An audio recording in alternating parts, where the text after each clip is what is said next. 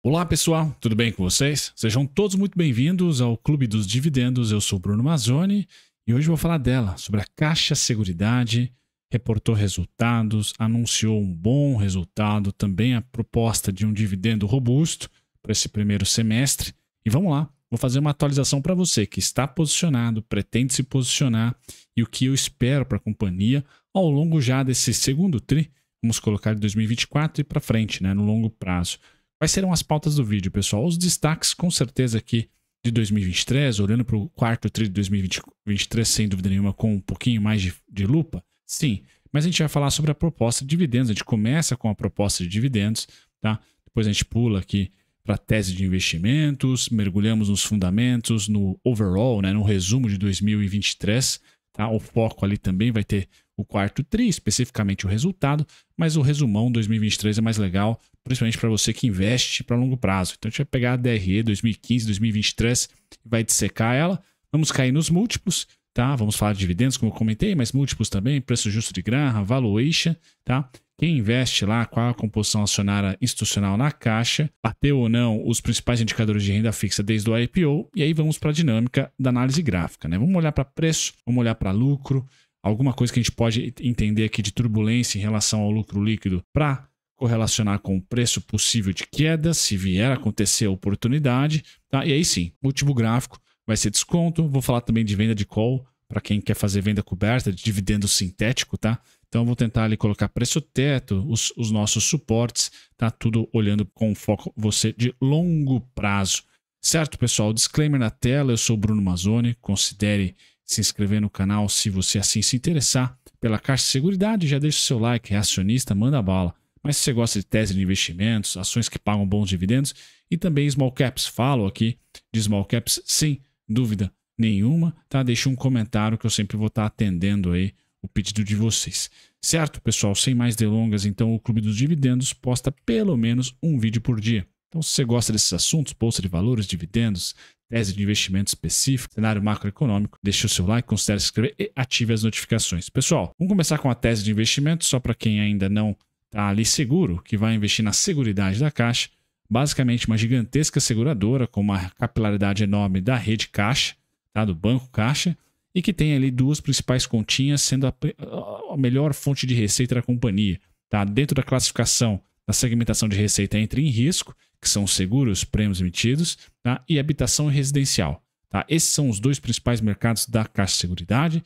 Não vejo retraírem ao longo de pelo menos os próximos dois anos, que nós temos aí um bom programa governamental que ajuda bastante tá? esses dois grandes seguros e a companhia tem de novo a capilaridade digital e presencial da Caixa. Tá? Talvez a Caixa que tem a maior rede de distribuição a, a, da América Latina, com certeza do Brasil, disputando aí com o Banco do Brasil. Tá? Então, Caixa é ali, sem dúvida nenhuma, um grande player, muito bem representado. Estamos na seguridade da Bolsa, nos seguros da Bolsa, quando o assunto é habitação, quando o assunto é alto, com Porto Seguro, e o assunto também rural, com a, a BB Seguridade. Bradesco e Sul América são os dois players ali de saúde. Sul América não está mais na bolsa, Bradesco ali você pode indiretamente no bancão investir na seguradora, que é uma gigante também, ah, principalmente focada na parte de saúde. Pessoal, aqui é a tese de investimento, não temos muito o que se falar ali. Lógico que vem prestamista, previdência, sem dúvida nenhuma, tá? Mas as grandes, os grandes pedaços ali da receita da caixa vem do seguro habitação, vem do residencial, tá? E olhando aqui para o overall, né, para o resumão e, e, o release ajuda bastante a gente, né? Então vamos lá, pessoal. O que, que nós tivemos aqui em relação às principais contas? Então, seguro vida e crescimento de 12%, habitação 9,5%, residencial 5,8%, prestamista 5,1%, capitalização, que também é ali é, uma, uma boa fonte de receita, né? Quem não faz ali o seu joguinho, tá? 90 mega da virada. 92,6% de crescimento. Então, esse aí foi o crescimento que mais chamou atenção.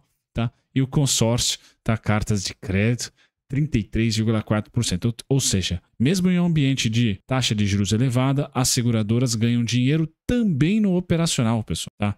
Então, acho que entra também no mesmo segmento dos bancos. Como é muito consolidado, pessoal, e a capilaridade presença física, perdão, ainda faz muita diferença.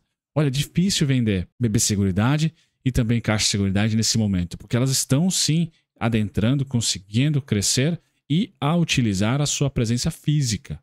Tá? Óbvio que Open Finance e a mudança também do comportamento nosso para aquisição de seguros é maravilhoso, a, aumentou em muito a penetração da indústria como um todo, sem dúvida nenhuma, pessoal, sem dúvida nenhuma. Por isso que BB Seguridade está cheio de parceiros, é, é uma holding, né? Tem tantos parceiros que distribuem seus produtos e a Caixa é a mesma coisa. Qual a diferença da Caixa de 2021 para cá? Ela incorporou a corretora e tirou ali o direito, exclusividade da WIS. Tá? Então a WIS era a corretora da Caixa. A Caixa de 2021 para cá abraçou a parte de corretagem, distribuição ali direta.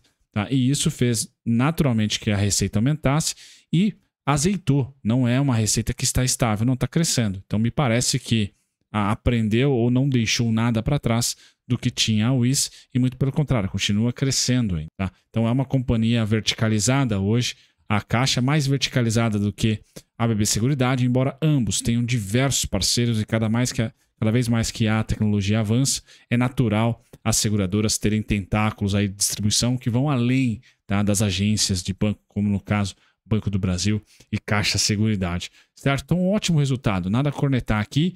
Ah, mas agora a Selic está caindo. Vai, vai ceder no resultado financeiro? Vai. Porém, o operacional, que já está indo bem, tende a ser estável ou até melhorar, tá? mesmo com a, a Selic cedendo. O que, que nós temos que prestar atenção? Pessoal, ciclo econômico vale a pena também. Essas companhias são basicamente é, bem neutras, não tão sensíveis como consumo e varejo para uma atividade econômica, mas sem dúvida nenhuma diminui um pouquinho a força. Tá? A BB Seguridade já deu uma murchada no seu guidance, a, a, a Porto Seguro vai em linha também com o seu guidance e a Caixa Seguridade também deve ter ali, eu até acho ela mais robusta do que BB Seguridade do, do que a própria Porto nesse momento, porque tem programas de incentivo, o setor imobiliário principalmente. Tá? Então a gente vai olhar com carinho e estamos vendo as, os resultados do IMOB, né, das empresas incorporadoras e construtoras, por enquanto, bem resilientes e não me parece ter soft landing ou hard landing para elas. Né? Elas não estão landing, né? elas não estão pousando. Tá? Então, essas companhias, enquanto reportam bons resultados, novos, novas emissões ali podem surgir, financiamentos, sem dúvida nenhuma, a Caixa é a principal ou principal destino.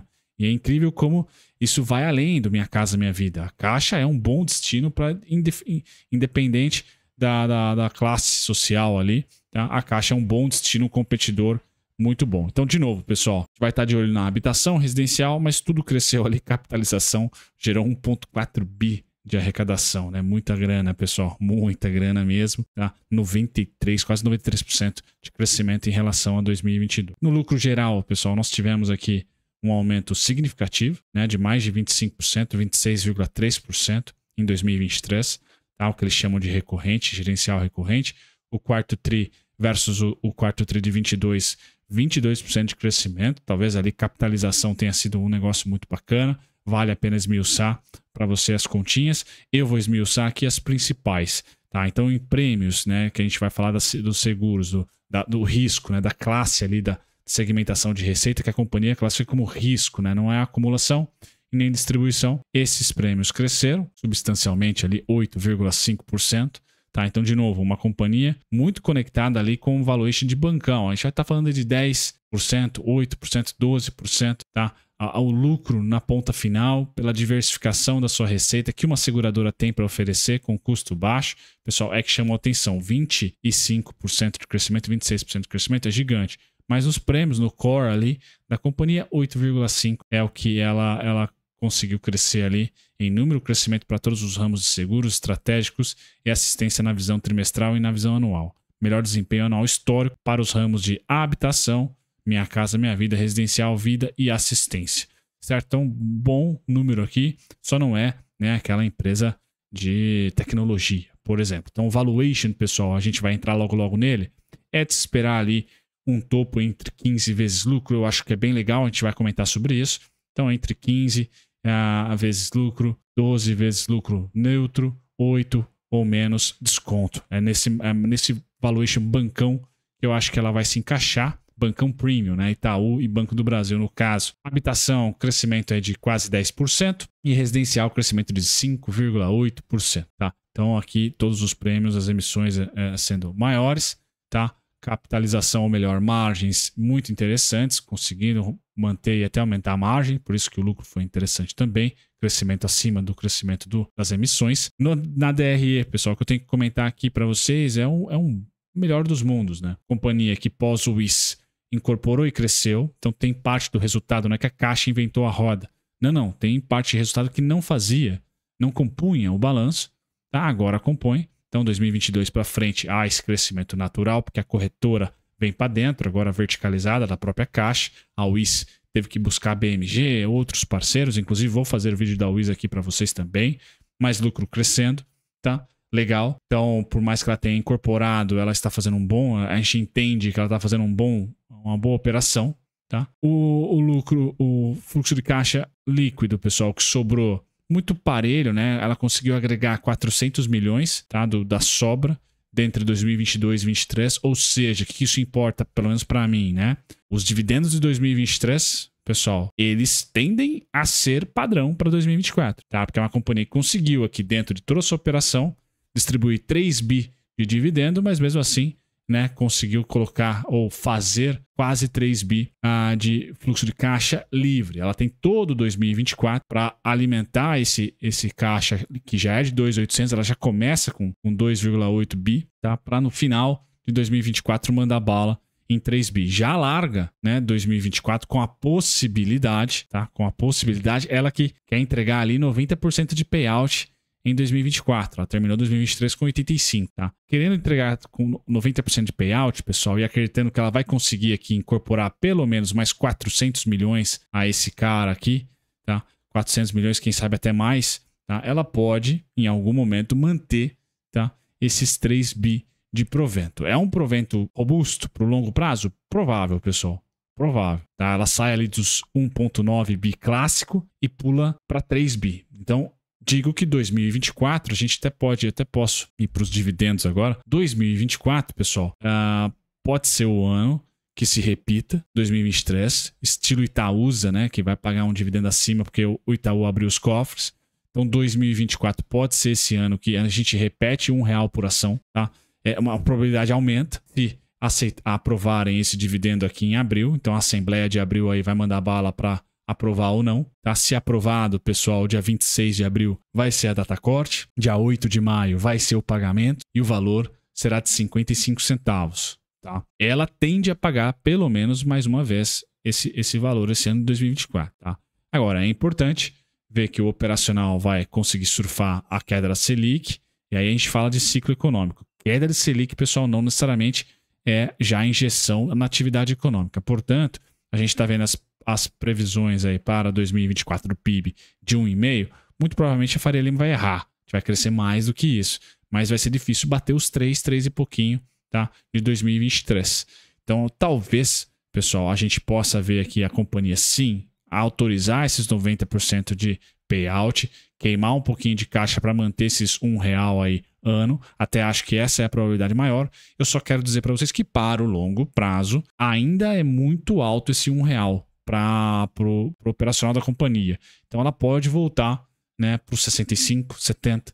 Tá? Então eu teria ali para os próximos 12 a 18 meses um realzinho. Tá? Então isso é legal. No, no 2024, se ela aprovar os dividendos, a gente está com 55 centavos. Então aqui o primeiro trimestre, preço teto é de 9,16, mas é um preço teto que eu acho pouco burro, né? ou um pouco conservador demais. Acho legal você dobrar ele vai lá para o seu R$1,01, que foi o líquido do ano passado, e cai em 16,83. Por isso que 16,83 na parte técnica tá lá preço teto. Lá em cima no meu gráfico tá lá, ó, preço teto, tá? 16,83, 16,37 é um alvo de estratégia de price action, certo, pessoal? Então eu queria colocar isso para vocês.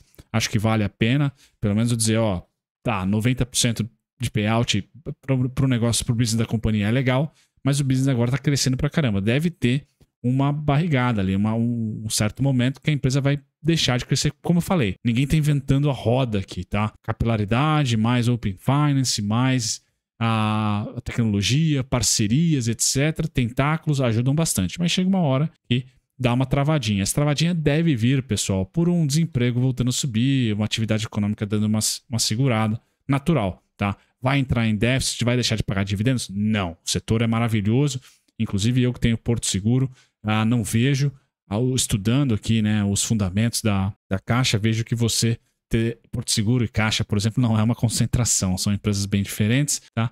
Ah, essa, essa é a vantagem de se ter Porto, né? É uma, é uma seguradora bem heterodoxa, né? Caixa Seguridade e BB Seguridade são mais conservadoras, ótimos fundamentos. Fecha a parte do fundamento dizendo que foi ótimo, pessoal. Caixa líquido, 3 bi de dividendo é uma possível realidade, sim, para 2024. Já está querendo largar com um e-mail, então semestre a semestre. Né, duplicar, já vai dar os seus 3 bi, um real por ação, não, não tem por que a empresa aumentar o capital social, follow-on, tá super bem. Então acho que você vai ser muito bem remunerado, acionista pessoa física. Preço justo de graça, porque o PVP é alto, pessoal, tá lá embaixo, tá? Tá em R$10,60. Então eu digo que R$10,60 começa o desconto pro Graham. Dividend yield 7,13%, pegando uma rebarba ainda de 2022 ali. Tá? 7,13% é o dividend yield atual, preço lucro de 12. E aqui no preço lucro, pessoal, eu, Bruno Mazzoni, acho que a companhia deve ter ali a sua máxima, tá? até por ser uma empresa de valor, não de crescimento, apesar do crescimento robusto. Tá? A gente tem que olhar para o IS e tem que olhar para um momento também bem oportuno tá? do fiscal brasileiro ali para o setor em específico. Então, 15 vezes lucro, e aí eu trago para vocês que 8,5 foi a, o, o mínimo dela ali pós-IPO. Tá? Então, entre 15, a partir de 15, eu tentaria né, olhar com mais carinho, diminuir as compras, ou também olhar para strikes de venda de call coberta ou compra de put, se você preferir seguro e não renda, tá? E aí 8,5, 9 vezes lucro como um bancão, né? Entra já em desconto como um bancão privado, vamos assim dizer. Então esse é um valuation ah, que eu estou aqui mimificando de um bancão privado. Olhando para quem investe, então tá lá a Caixa Econômica, Aqui é uma tese, pessoal, de que muito provavelmente, tá? Muito provavelmente nós vamos ter os governos, não o atual, mas os próximos também, usufruindo das posições nas suas estatais que geram muito lucro. Então, o dividendo é de interesse. E no caso do BB, da BB Seguridade, do Banco do Brasil e da Caixa, nós temos as mesmas ações da União, da, uh, do controlador. Não nesse caso que não é da União, da própria Caixa. Tá? Isso é muito bom, tá? porque a gente vai ser remunerado caso a política uh, nossa, dos próximos governos, não só do atual, mas dos próximos, seja aí de utilizar o dividendo das empresas estatais como um parafiscal, né? Ali para ajustar a nossa composição fiscal. Então, vejo como bem provável, tá? Esses 3 bi em dividendo para 2024, um repeteco, tá? Fora a Caixa Vanguard, que são os fundos uh, passivos, né? A Amundi, Fidelity, Wellington Management e a Goldman Sachs. São esses os institucionais na companhia. Passado dessa parte de quem investe na caixa, a gente cai na sua rentabilidade desde o IPO, cerca de 70, 72%, pessoal, tá? do IPO para cá. Então, parabéns, né? O IPO ali se deu em 2021. Você está quase dobrando tá, o seu capital em 2024. Tá? Aqui já conta com dividendos. O CDI no período subiu 33, belíssima rentabilidade também. E o IMAB 24. Tá? Mas a caixa dobra tá, o CDI. Então, parabéns para você.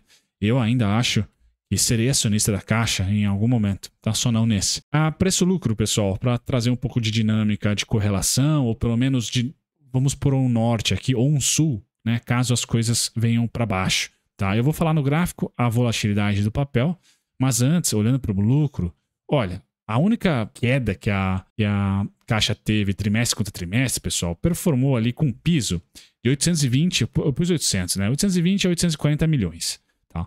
Imaginando que 2024 nós não vamos ter um lucro líquido trimestral abaixo dos 820, 840 milhões, pessoal, eu coloco ali a faixa, esse candle aqui, eu devia ter circulado ele, tá? Essa faixa de preço ali como principal faixa de desconto. Eu circulei 8,20, mas ela vai até os 9,20, até quase os 10 reais. Então 8,20 a 9,20, na minha opinião, via preço-lucro que, que o mercado precificou naquele momento, seria ali o melhor desconto. Caindo na análise gráfica aí mais completa, eu tenho várias, vários preços importantes ali. Tá? Ineficiências de mercado também é importante. Então a faixa toda toda dos, dos melhores lançamentos de put, por exemplo, seria os 10 e 20 aos 8,50 ou aos 8,20 especificamente. Eu tenho as grandes faixas ali. O IPO 9,67 é o grande suporte, 10 e 20 o próximo, depois aqui nós temos 11,55, 11,27. Agora, para você do primeiro tri, pessoal, principal desconto está em 12,19. Primeiro e segundo tri, tá? Se o mercado der essa lambuja,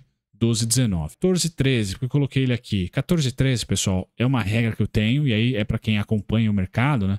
Caso nós fechemos, um, um, conseguimos fechar ali o preço, né? No gráfico mensal, abaixo dos 14, 13, eu vou olhar para o mês seguinte, lançar put, é, lançar call, por exemplo, eu teria interesse, tá? Porque a, a, probabilidade é bem grande que fechando abaixo dos 14, 13, não passe de lá no mês seguinte, gerando renda para você, tá? Para não ficar com a posição paradinha lá, gera renda e você não é exercido, não precisa vender, tá? E aí 12 e 19 acaba sendo o melhor lançamento de put. Bacana? Então esses dois números são os mais importantes para mim para o segundo trimestre. 12 e 19, suporte 14 e 13 por hora. Não, não tem nenhuma, nenhuma utilidade. Caso a gente feche um, um, um mês abaixo, ele começa a ter essa tal utilidade. Para cima, pessoal, 15 e 17, primeiro alvo, estamos nele. 16 e 37, 16 e 83, a gente vai terminar lá nos 20 e 97. Tá? Esses são os principais alvos. Tá? É assim que eu estou olhando também no gráfico semanal. De novo, né? não canso de dizer para vocês parabéns quem investiu na Caixa Seguridade.